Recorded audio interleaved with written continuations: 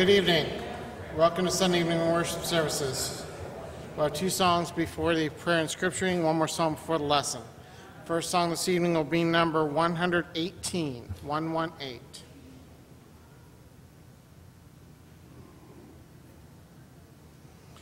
I will sing the wondrous story of the Christ who died for me, how he left his home in glory for the cross of Calvary. Yes, I'll sing the wondrous story of the Christ who died for me. Sing it with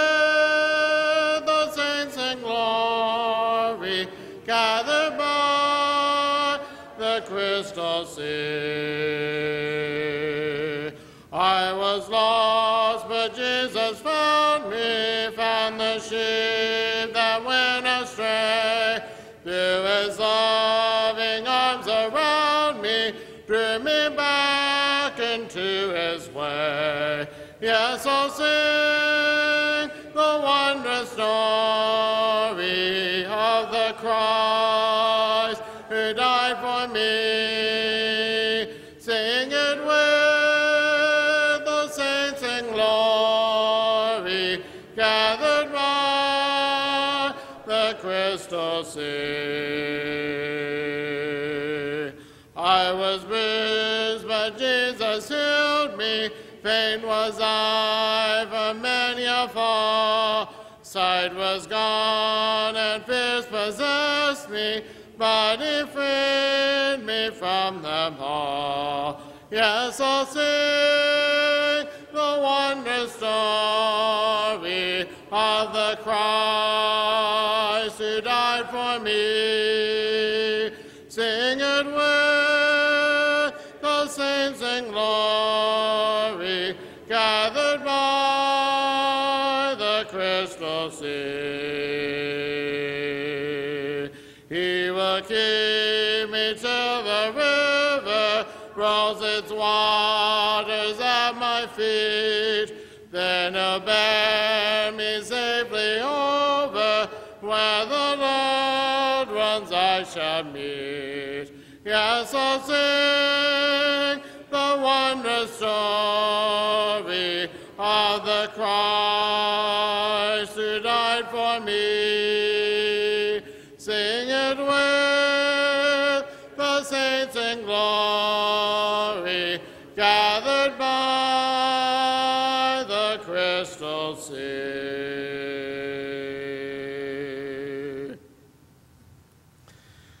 Song before the prayer and scripture reading will be number 416. 416.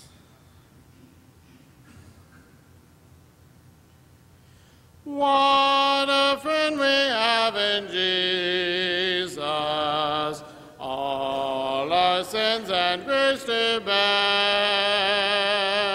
What a privilege to carry everything to God in prayer. Often forfeit.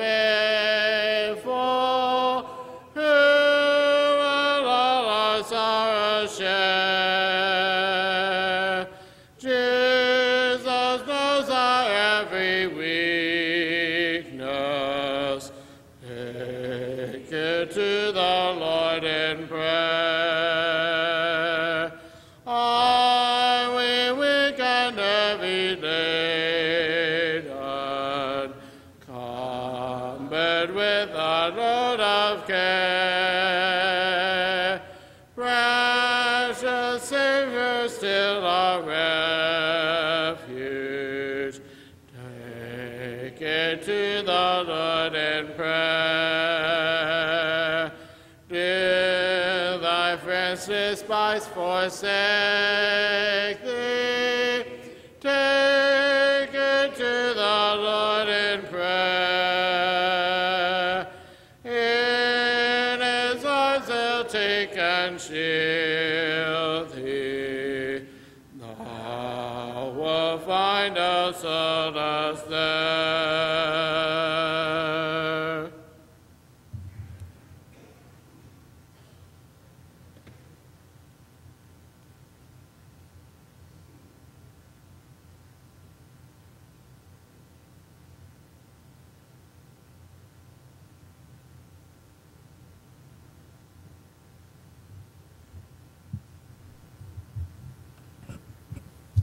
Let us pray.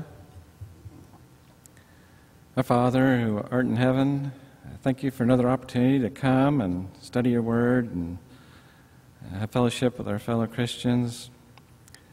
Thank you for watching over us this day and for keeping us safe and healthy and giving us opportunity to, to come together again. Please open our hearts and our minds to the lessons we're about to hear and help us to understand them and find ways to apply them in our lives so that Others will know you through us, and we can be people that you're proud of, and that you'll one day welcome us into your kingdom. Thank you always for allowing your Son to come down, uh, show us how to live our life, and how we should die, and how we should uh, seek to seek to please you. Uh, help us find our way home to your kingdom. In Jesus' name, Amen.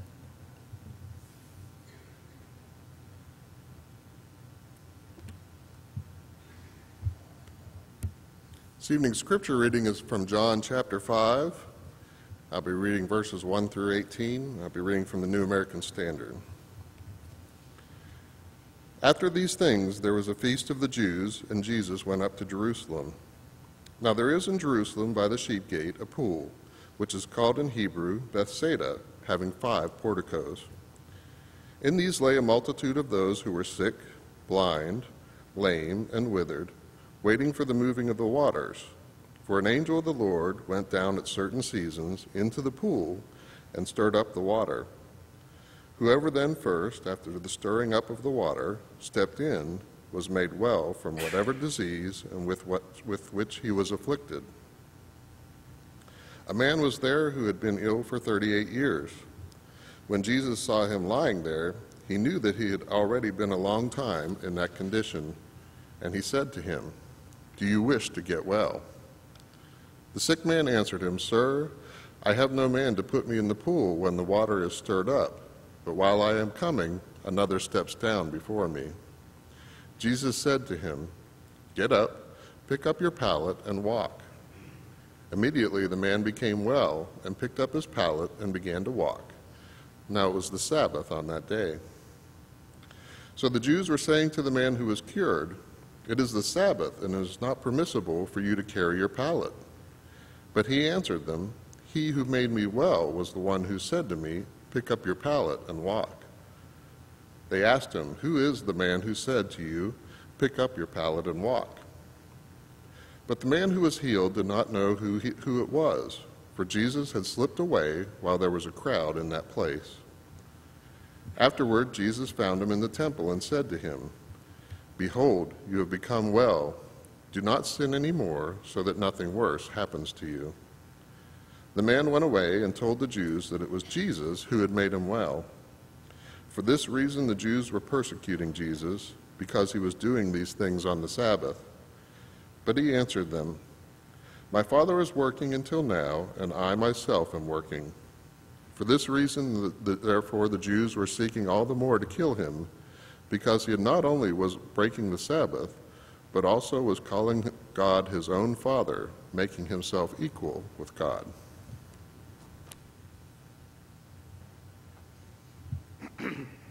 Number 197, 197. If you're able to, please stand.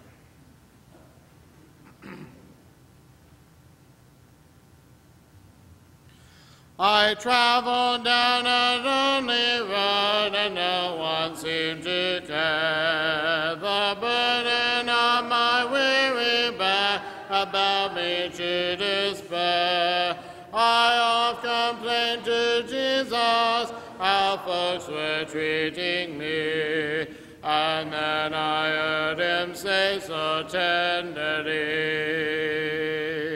My friend upon the Calvary road. The cross became so heavy, I fell beneath the load.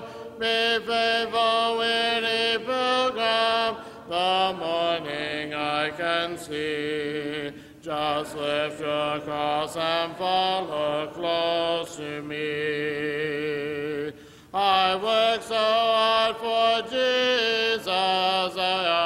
and say, eh? I sacrifice a lot of things to walk the narrow way. I gave up fame and fortune, I'm worth a lot to thee. And then I hear him gently say to me,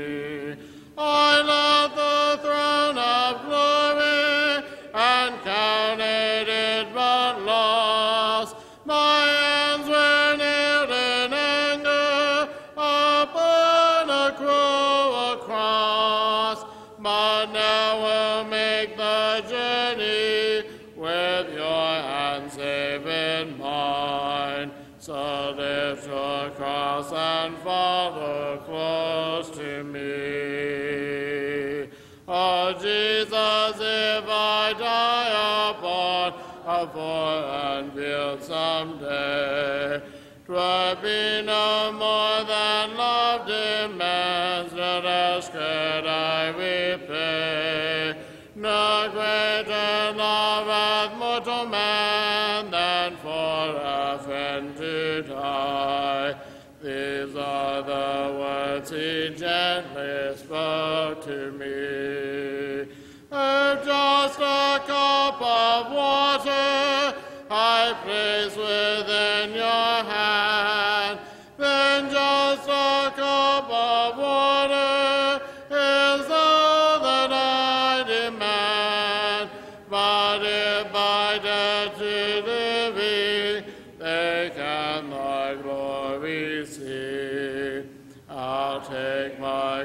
cross and follow close to thee. Song following the lesson will be number 585. 585.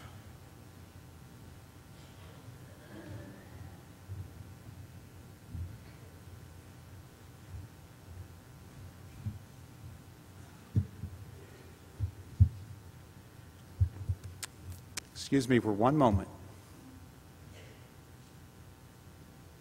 Just wanted to see how it looked. I never get to see.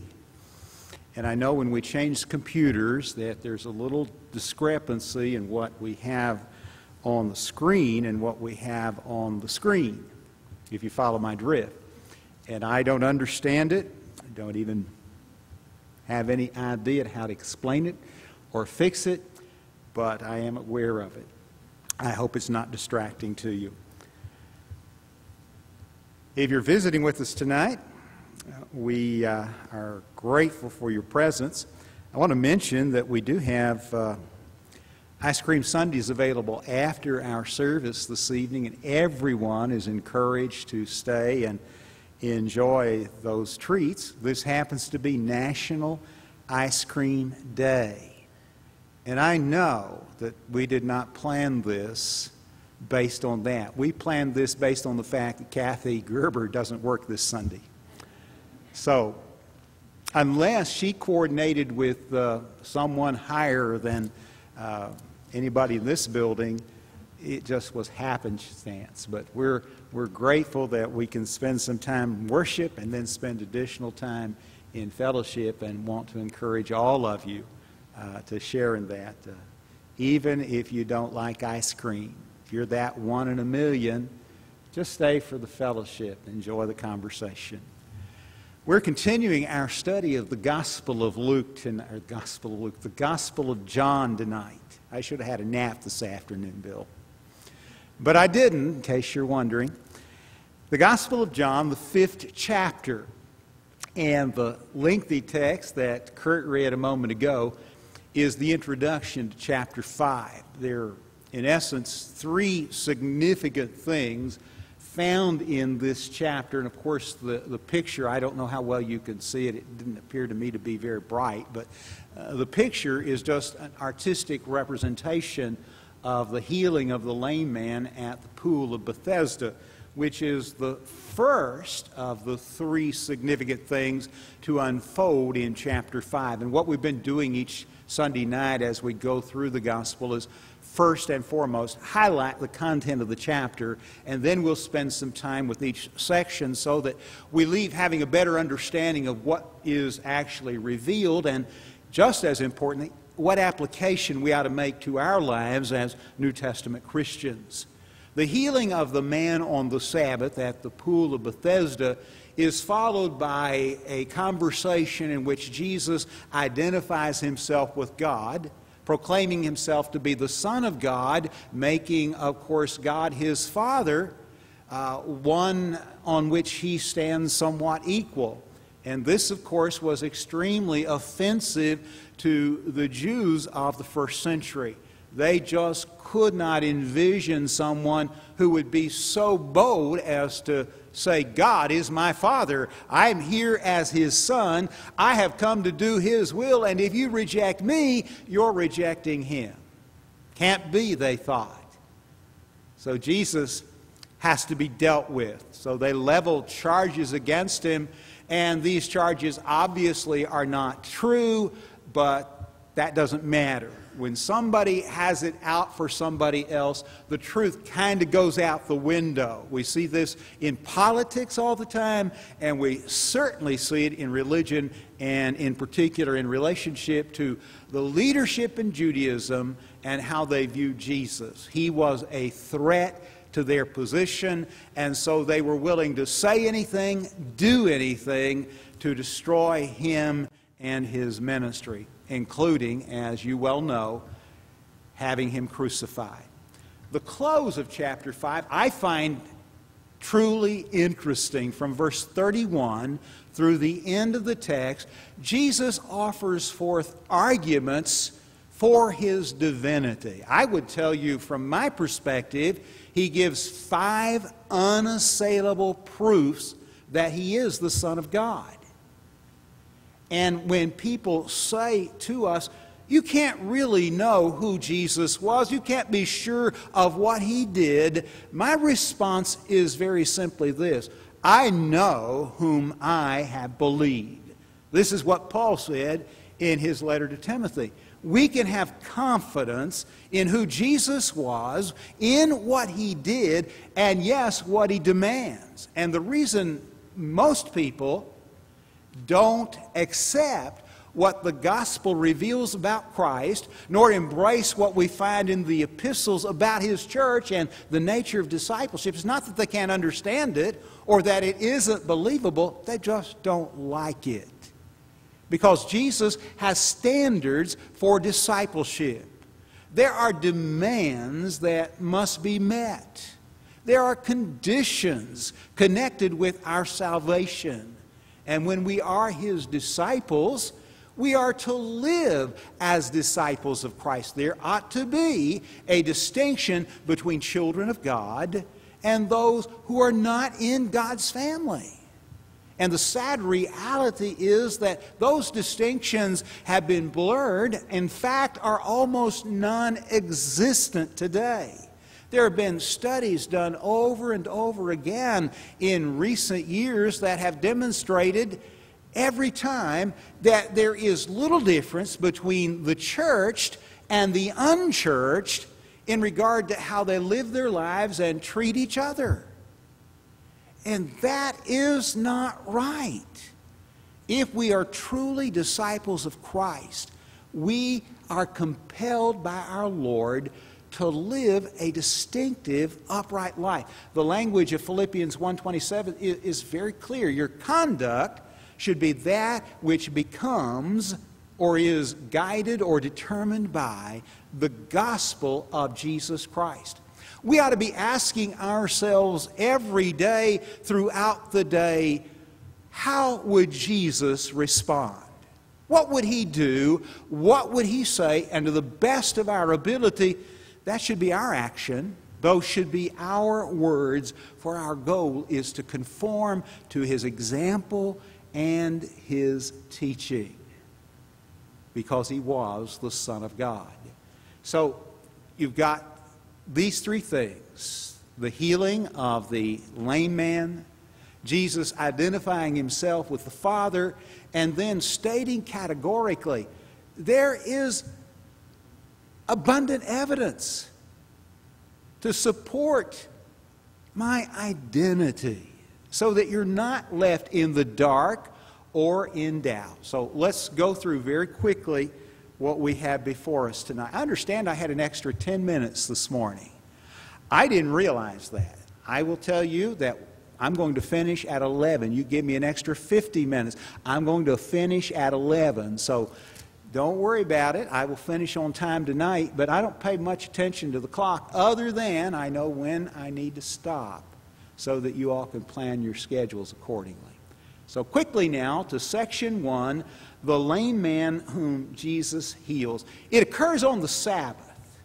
And of course, this is a constant criticism leveled by the critics against Christ. He does things or he authorizes things to be done on the Sabbath, and that's a no no.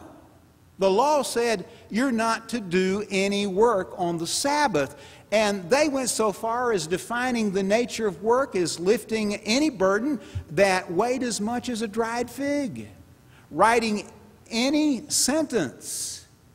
You couldn't even do anything if someone were injured that would aid in the healing process. You might stop the bleeding, but you couldn't apply ointment or anything that might assist in recovery on the Sabbath. That was considered work. Now, of course, Jesus didn't buy into that, and he pointed out their hypocrisy. He wasn't allowed to do good things for human beings on the Sabbath, but they could lead their donkey or their ox to water on the Sabbath, and that wasn't a problem. Or if they had an animal fall into a pit on the Sabbath, they didn't have any difficulty at all getting that animal out of the pit, the dry cistern. And sometimes the cistern may not be dry.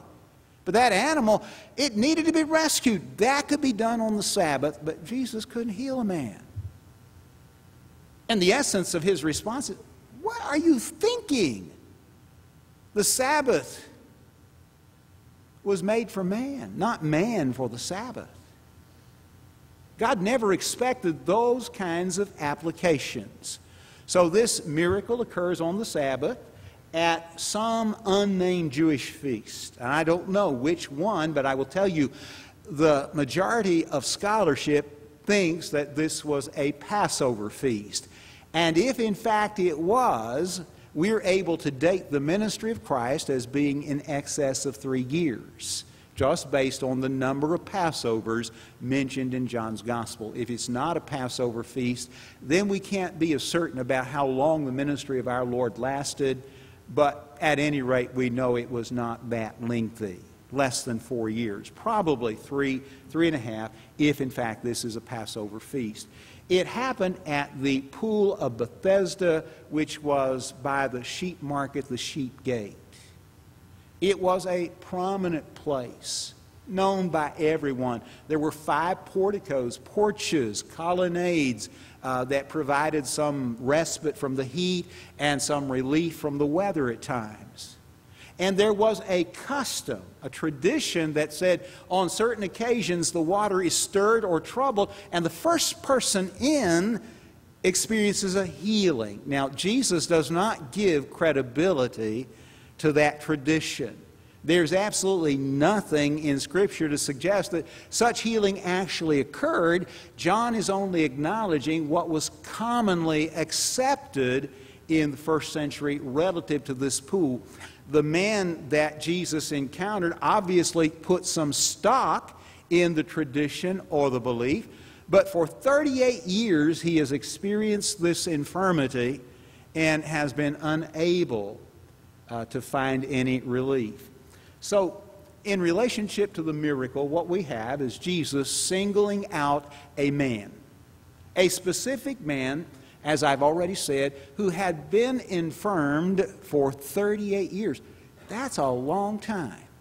My son will be 38 at the end of August. He tells me over and over again, Dad, I'm an old man. And I say, What does that make me then? I don't thir- think 38 is really old, but to have this kind of ailment for 38 years, now that would be a challenge. And yet I know people who have carried much heavier burdens for much longer. But this man clearly has a plight that captured the attention of our Lord, and being the man of compassion that he was, he was compelled to take action. So he asked, Do you want to be healed? Now, what do you think the answer to that question would be? And don't you know that Jesus already knew the answer? But this is all designed for the benefit of others and ultimately for our own benefit as we're able to examine the text. Shouldn't everybody who has a problem want that problem solved? The obvious answer is certainly.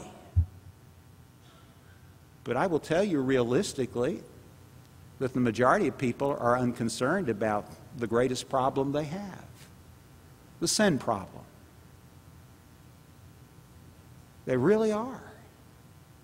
They're unwilling to let our Lord, in His Word, address the one condition that is more serious than any other. And in fact, I think there's an allusion to that in the text as it unfolds. The man's response was, Well, sure I do, but my situation is such that when the angel troubles the water, given my condition, before I can get in, somebody else is already there.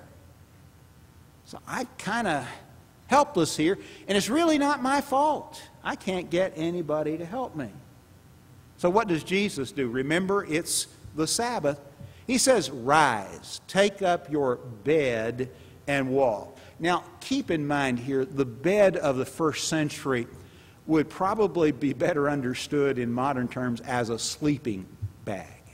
Or maybe even better, you remember, if you're my age, growing up watching the westerns, and what did all the cowboys have behind their saddle? Their bedroll.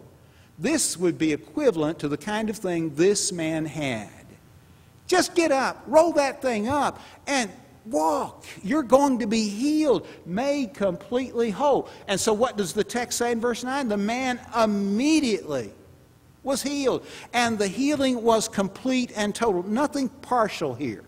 In all of the miracles recorded in Scripture, only one that I can think of involved a partial and then a complete healing. And I'm not going to tell you where it is. I want to challenge you to find it. it may be helpful for you to know it involves a blind man. But every other miracle that Jesus did was instant and total. And this is no exception. Later, when Jesus encounters the man, he says something that I believe is terribly significant tonight. He says to him, just very pointedly, sin no more, lest a worse thing come upon thee. And yes, there's a, a thee. That thee is T H E E, not T H E. Didn't see it in the dozen times I went over this this past week. But I have an excellent bulletin article coming out in the next few weeks that specifically addresses all the mistakes that I make. So look for that you'll find it very insightful. They only stand out when I've got an audience of 100 plus. But I see it, so you don't need to tell me later. I digress. He's been infirm for 38 years. How could something worse come? Well, that worst thing, folks, is sin and the ultimate outcome when sin is not addressed. The wages of sin is death. Being infirm 38 years is nothing compared to being lost eternally. And that's the point that Jesus is trying to drive home. Not just for the sake of this man. Jesus knew full well that his ministry would be recorded, that these stories would be told, that his words would be remembered. And folks, there are matters that matter more than our cough, our arthritis, our sore back, or a host of other far more serious problems medically. The sin problem is the greatest problem we face. It is not cancer. It is not our economy. It is not Russia or China or North Korea. It is sin. And when that problem is addressed as Jesus would have it addressed, all other problems are dwarfed to insignificance. But when we ignore it, yes, something far, far worse lies ahead in our future. So, there are things worse than physical impairment. This man needs to understand that. He has just encountered the Lord. He's going to have an opportunity to live now a meaningful and productive life.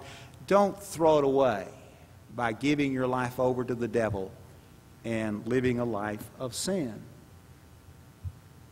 Sin can cause far more harm than any other problem we face.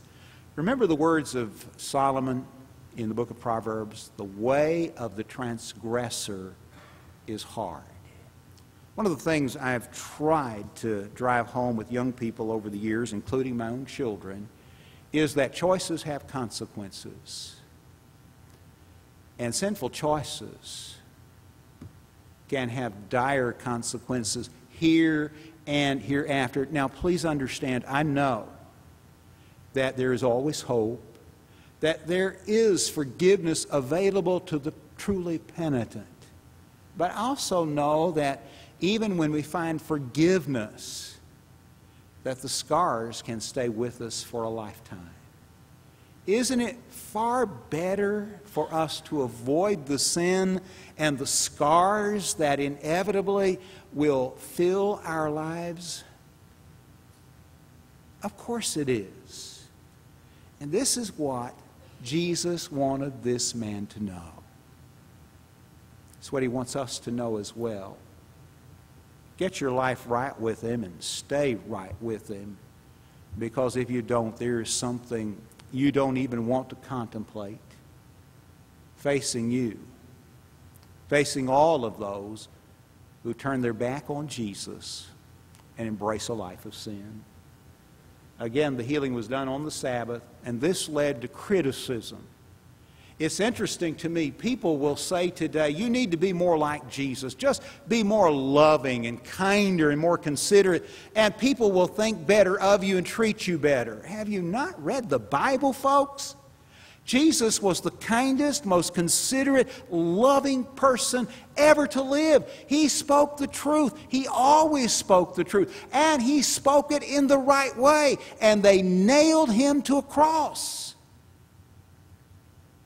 Whoa, he said, when all men speak well of you, something's not right.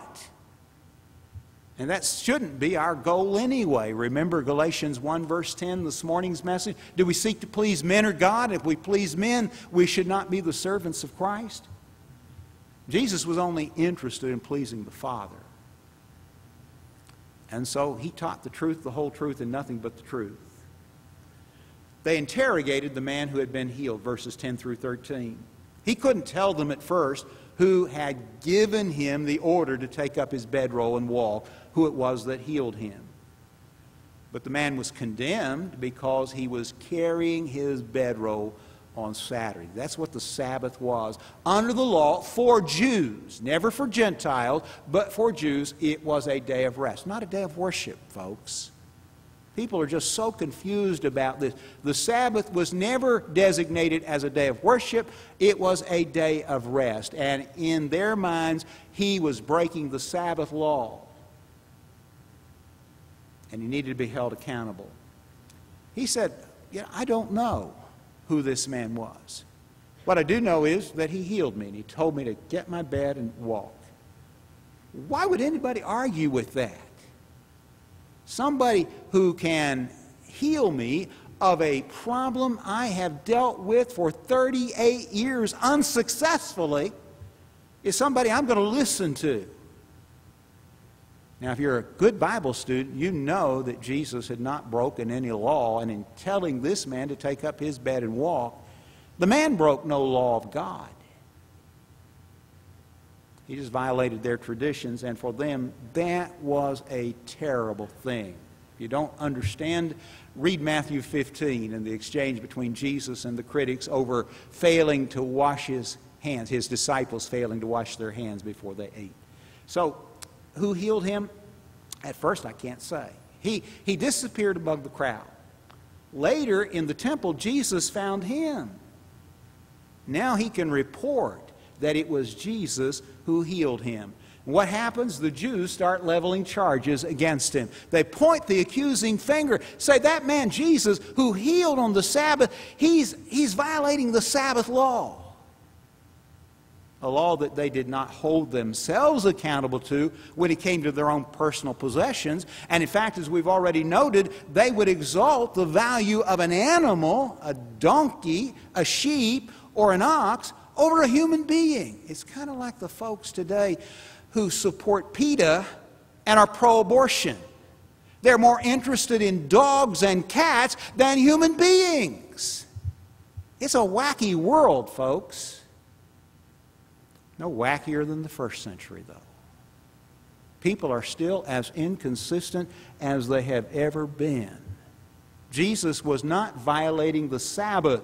He was helping somebody. It is never wrong to do right. Seven days a week. That's really the argument that Jesus made.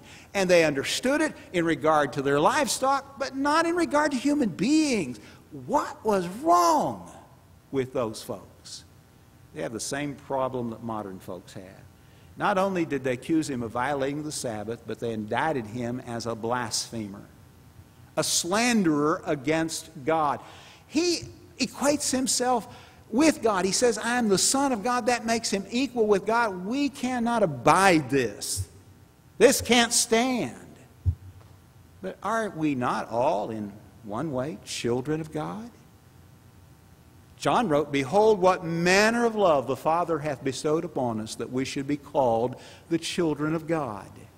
1 John 3 1. And did not the Lord himself teach his disciples when they came to him and said, John taught his disciples how to pray? How should we pray? He said, Pray, Our Father who art in heaven, hallowed be your name. Equating God as his Father should not have raised an eyebrow because we are all children of God in the great creation narrative of Genesis 1 and 2.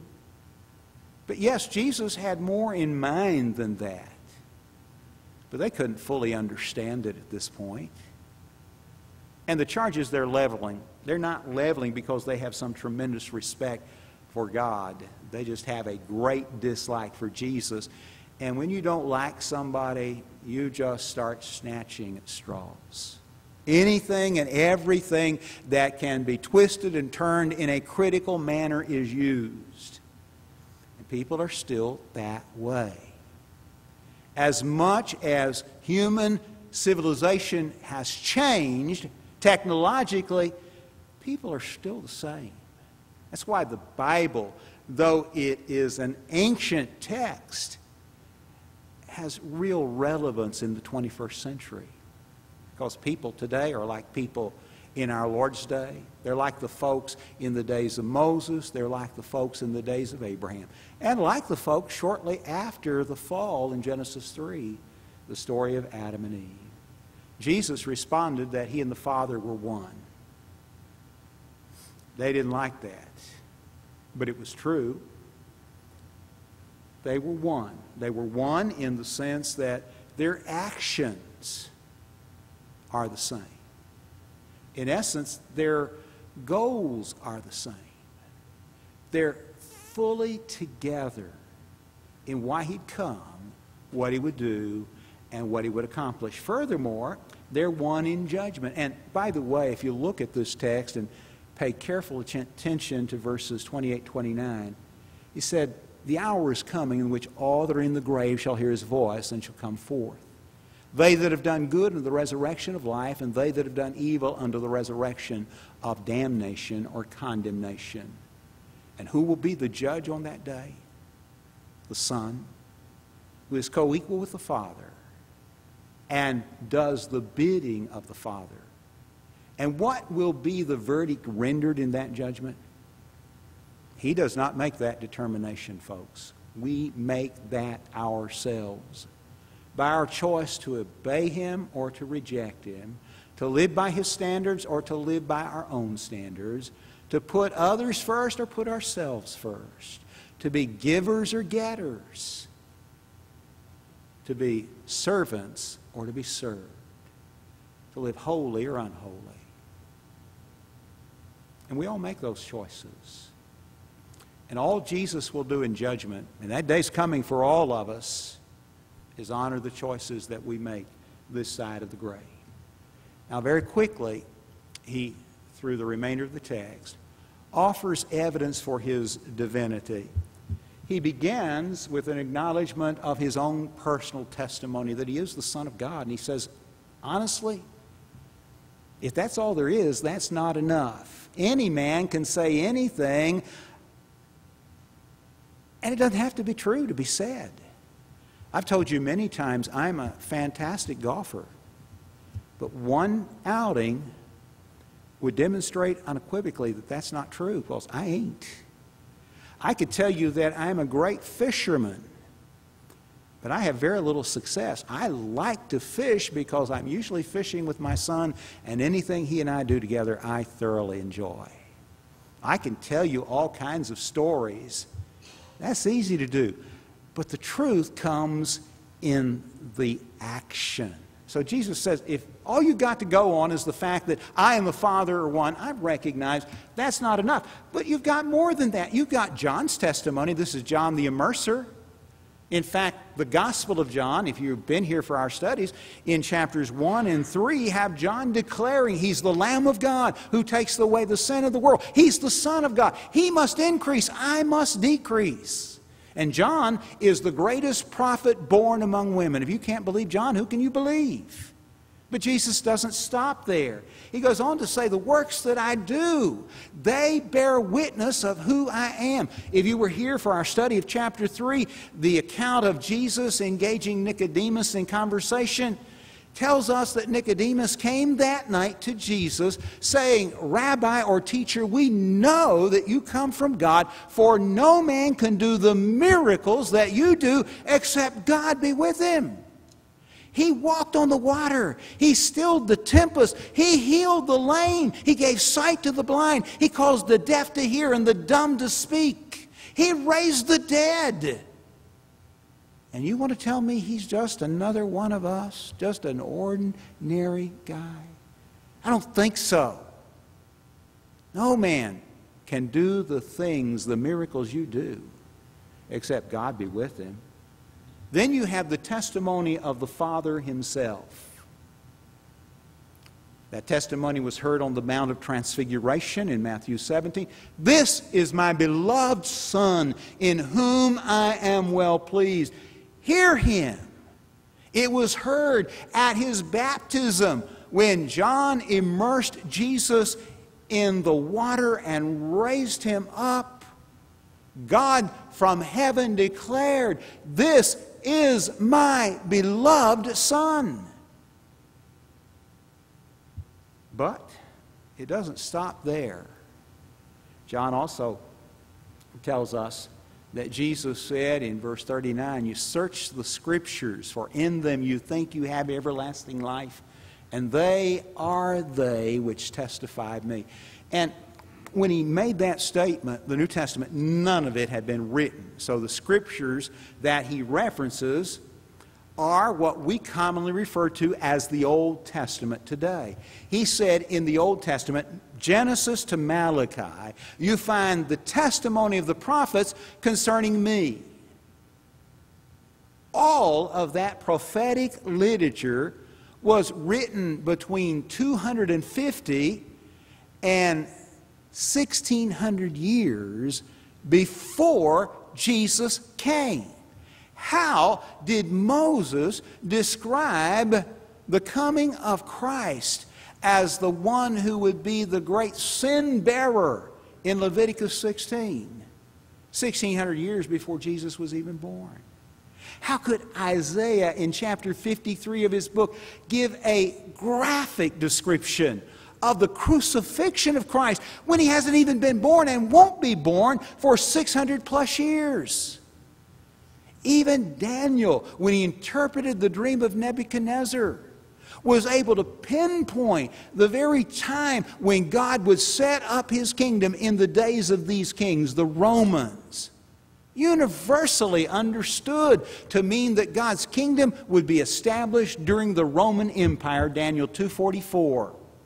And even if you are a liberal scholar, you have to admit that Daniel was written at least 200 to 250 years before Jesus was born. Tell me, tell me what was, will happen 250 years from today here in Marietta, and you can't do it.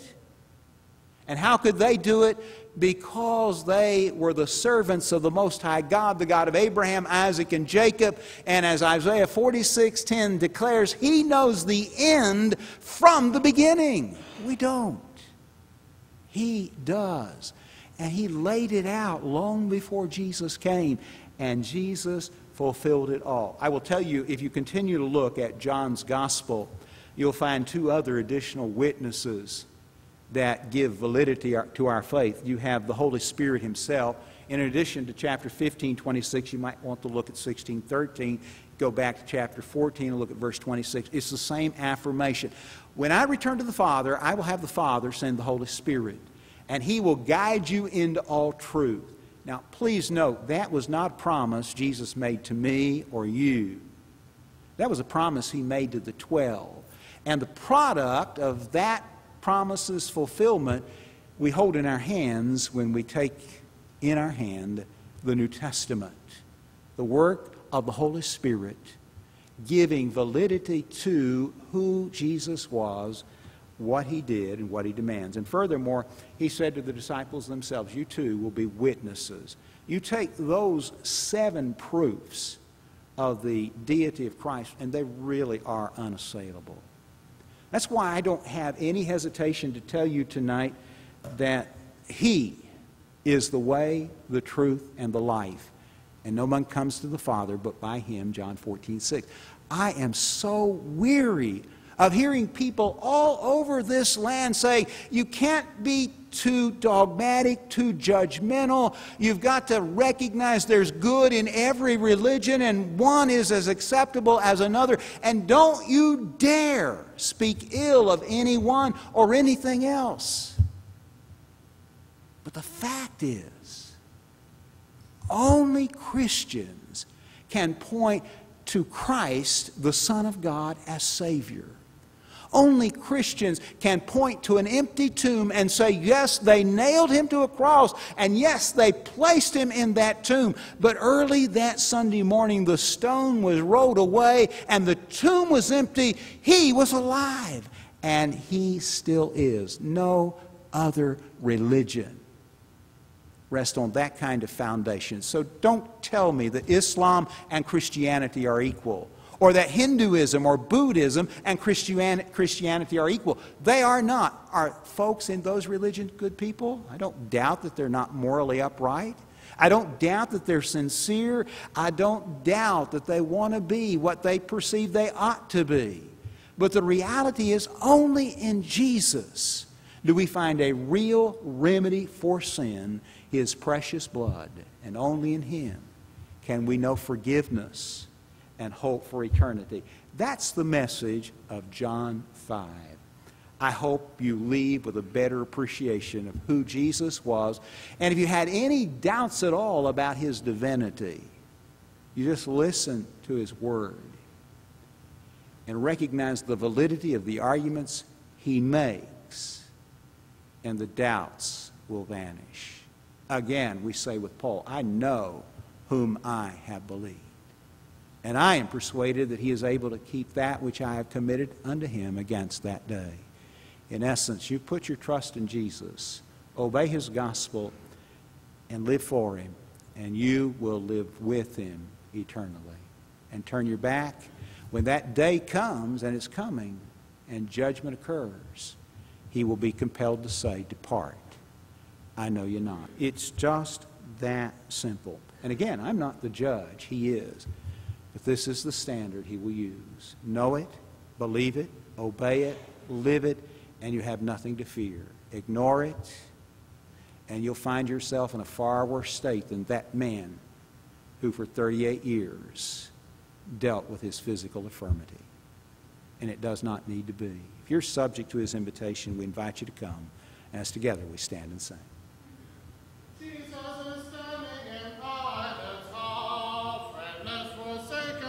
Betrayed by all. Hearken one minute the sudden call. What will you do with Jesus? What will you do with Jesus, my friend? Neutral you cannot be. Someday your heart will be asking a friend, What will he do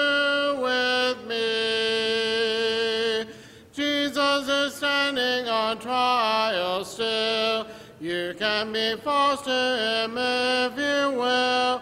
You can be faithful through good or ill. What will you do with Jesus?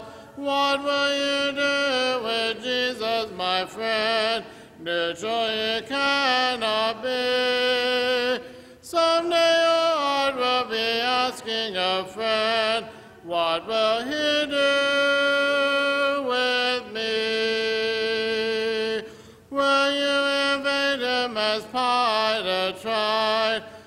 Him whatever tide?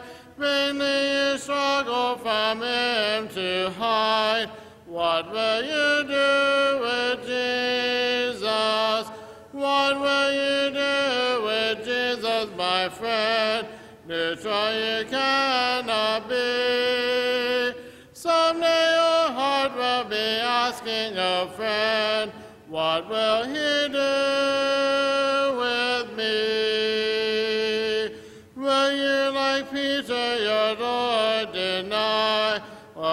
Or will you scorn both his foes to fly, daring for Jesus to live or die? What will you do with Jesus? What will you do with Jesus, my friend? Neutral you cannot be. Someday your heart will be asking a friend, What will he do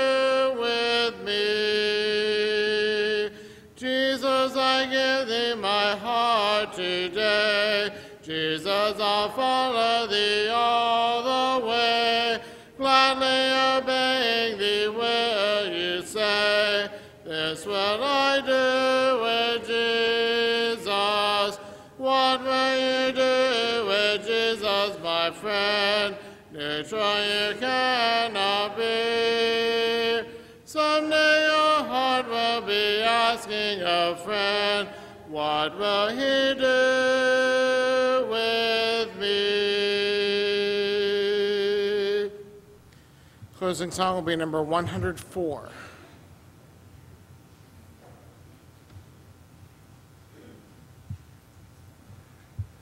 Thank you, Roger, for another excellent lesson.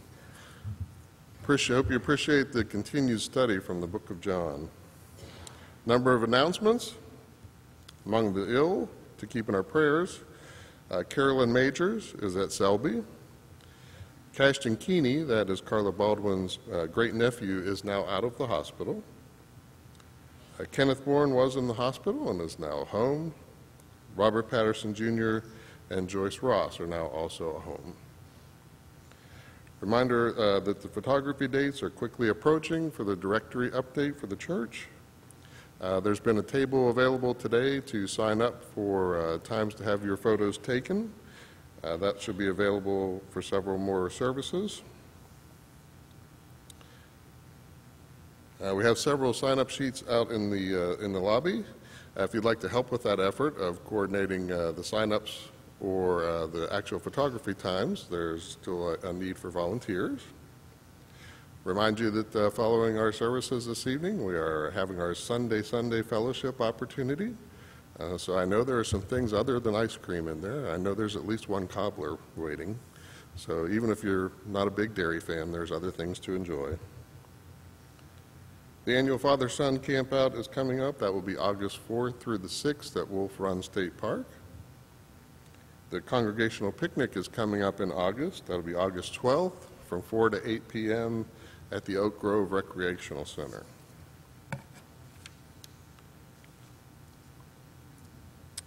If you have not had an opportunity to partake of communion, it has been prepared. As we sing the last song, you're invited to exit through the rear of the auditorium, take two rights, and you'll end up in our conference room where there'll be men there waiting to serve you.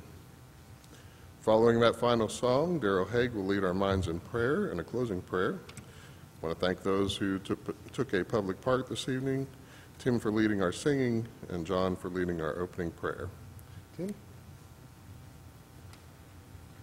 Number 104, 104, if you're able to, please stand. Fairest Lord Jesus, ruler of